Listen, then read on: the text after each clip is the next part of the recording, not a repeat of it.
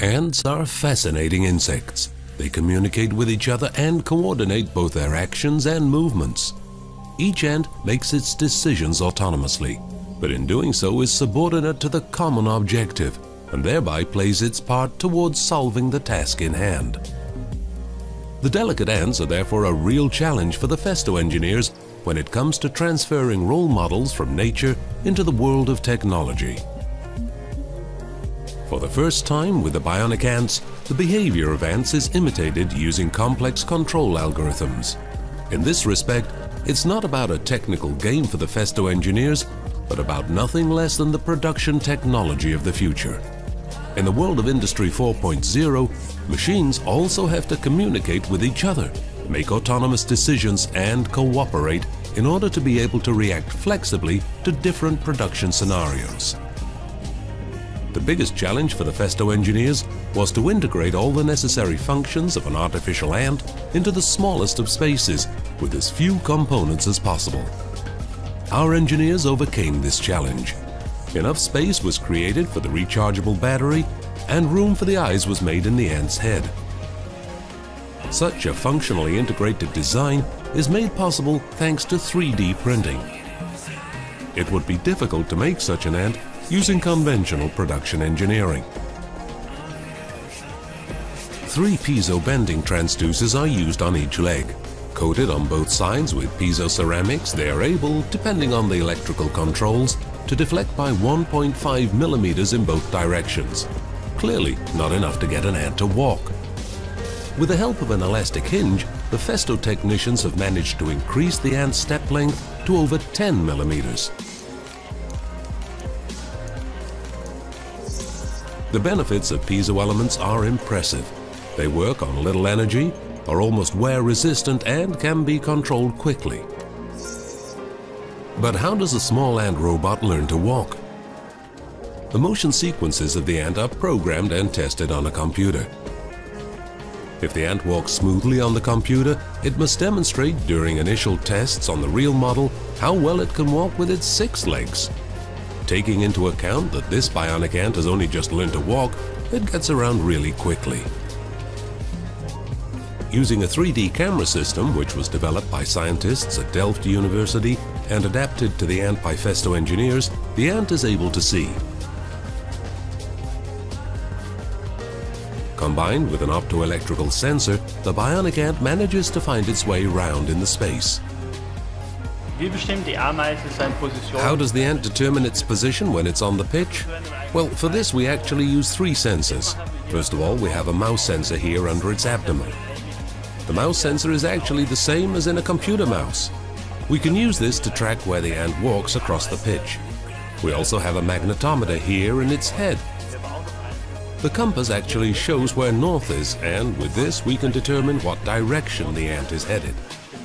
Here at the front we also have a camera system consisting of two cameras which gives us a stereo image and means we can detect the markers on the pitch and also measure the distance to them. We can therefore position ourselves with complete accuracy on the pitch. Number 2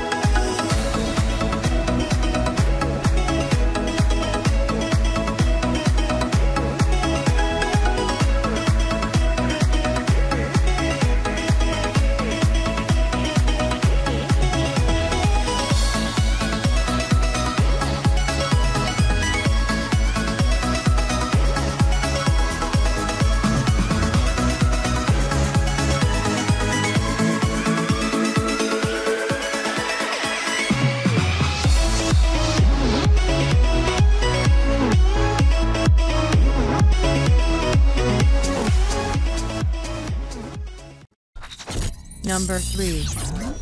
This is Matt and I'm Jay. We are the developers for the next generation in microflying robots called the Dragonfly.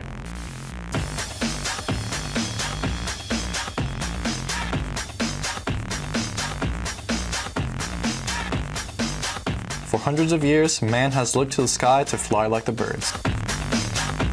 Our inspiration comes from one insect in particular, the dragonfly, with unmatched flight performance in the insect world.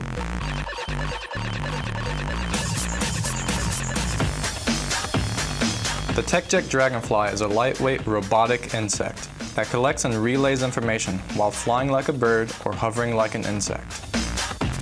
Weighing in at less than one ounce, approximately the weight of a AA battery, the Dragonfly is the latest in ultra micro avionics with stereoscopic vision, flight control systems, and a camera-ready operating system.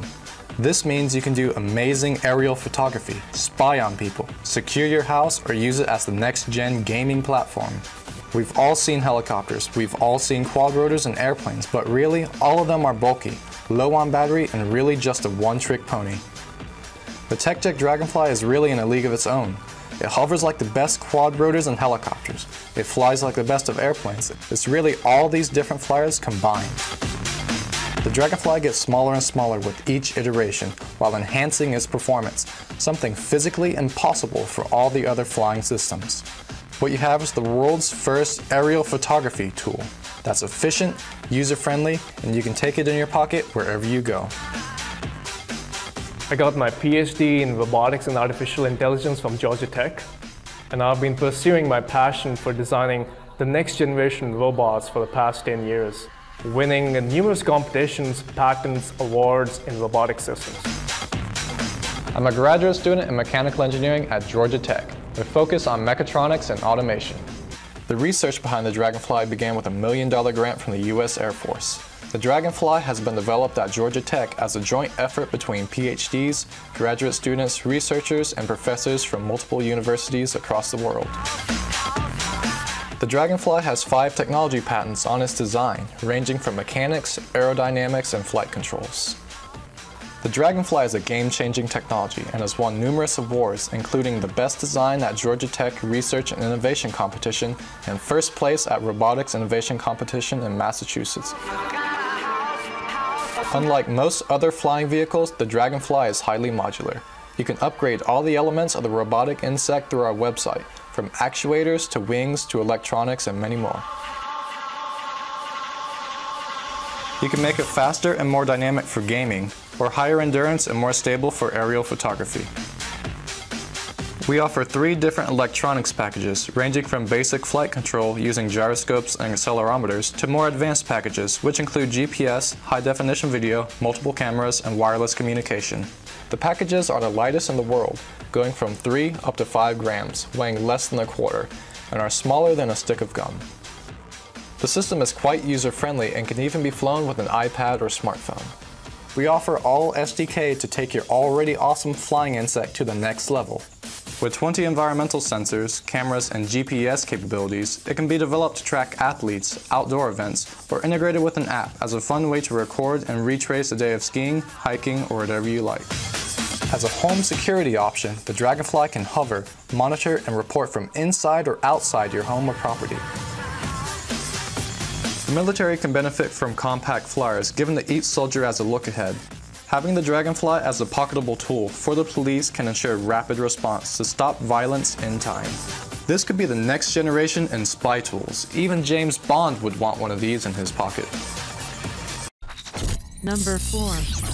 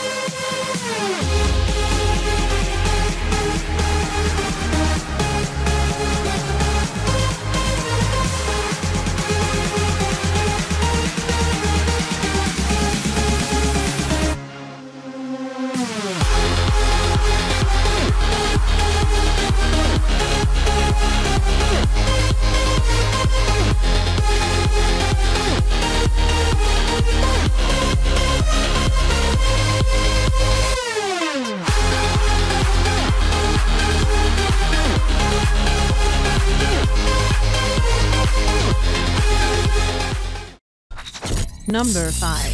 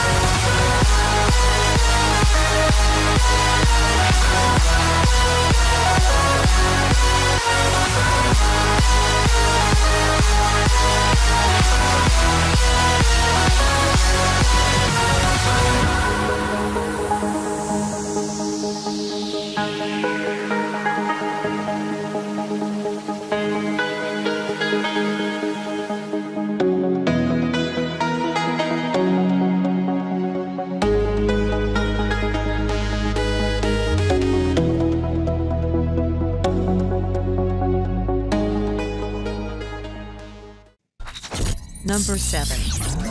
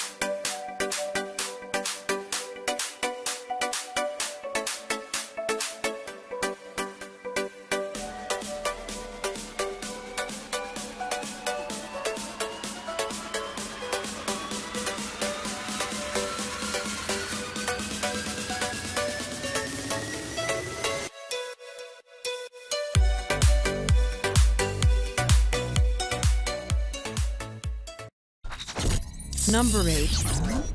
So the general goal of our lab is to understand the locomotion aspect of animals. And recently we are focusing on quadruped, uh, four-legged animals, and we try to understand how how they efficiently uh, run on the field and nature, so that we can take that inspiration and then use in our engineering world so, for example, we can create a prosthetic legs out of that technology, and, or, or you can even make a new transportation replacing cars so that you don't need a road in, uh, in our world. Cheetah is the fastest uh, four-legged animal in the world, and then we would like to make our robot run fast like a cheetah. When we started to build our robot, we started to look at cheetah's motion and applied its principles to our mechanical version of cheetah. Currently, our robot cheetah can run up to 10 miles per hour and jump over 33 centimeter high obstacle. So previously, uh, most legged robots are powered by internal combustion engine and then hydraulic transmission, and yeah, those are very noisy and very inefficient. But people believe that uh, internal combustion engine hydraulics are only way to make a legged robot runs and uh, support itself. People believe that electric motors are not powerful enough. So this is the first time we shows that electrically powered robot can run and jump over a foot-height obstacles. In order to build a dynamic robot like a cheetah, we had to develop everything on the robot, including motors, control system, and control algorithms. Because previous robot technology is focused on controlling static motion of the robot. I think this is a really exciting future where robot can be uh, quiet and efficient and also powerful, and then we might exceed the muscles uh, uh, performance in the future. Please don't forget to like and subscribe for new videos every day.